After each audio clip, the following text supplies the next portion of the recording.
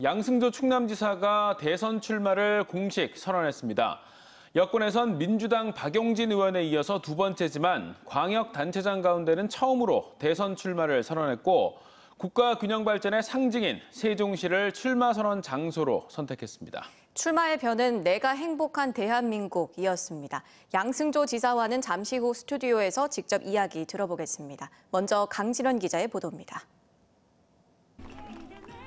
우리 사회가 행복하냐란 질문으로 양승조 충남지사의 긴 대선 출마 연설은 시작됐습니다. 세계 10위의 경제대국인데 국민들은 왜 집과 일자리가 없고 살림은 어렵냐는 겁니다.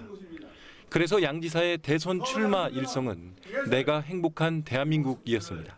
주거와 교육, 의료 등 필수 인상을 영위하기 위한 기본 비용을 국가가 책임지는 구조로 바꿔 나가야 합니다. 내가 행복한 대한민국을 만드는 여러분의 대통령이 되겠습니다. 도정 철학이었던 저출산, 양극화, 고령화의 해법을 국정에 적용하겠다는 공약도 내놨습니다.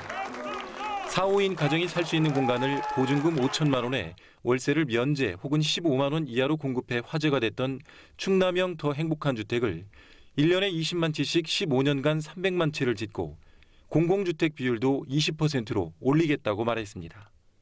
또 고령화에 대비한 노인청을 신설하고 사병 월급을 최저임금 수준으로 높이며 국세와 지방세 비율도 6대 4로 조정을 약속했습니다.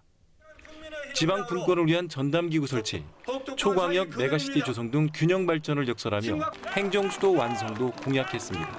국회의장과 청와대 이전을 통하여 행정 수도를 완성해 내겠습니다. 지역을 살리고 고른 균형 발전 속에 함께 잘 사는 대한민국을 만들어야 합니다. 양 지사는 세종시가 국가 균형 발전 상징 도시이고 지난 2010년 이명박 정부가 기업 도시로 전환을 시도했을 당시 22일 동안 삭발 단식했던 것을 상기하는 의미에서 세종시를 출마 선언 장소로 선택했습니다. 출마 선언식에는 이낙연 전 총리와 허태정, 이춘희, 이시종 등 충청권 광역단체장이 모두 참석해 양 지사에게 힘을 실어줬습니다. 지금까지 민주당 대선 후보의 출마 선언은 박용진 의원에 이어 두 번째로 이재명, 정세균, 이광재 등 유력한 후보들과의 치열한 당내 경선이 예상됩니다. TJB 강진원입니다.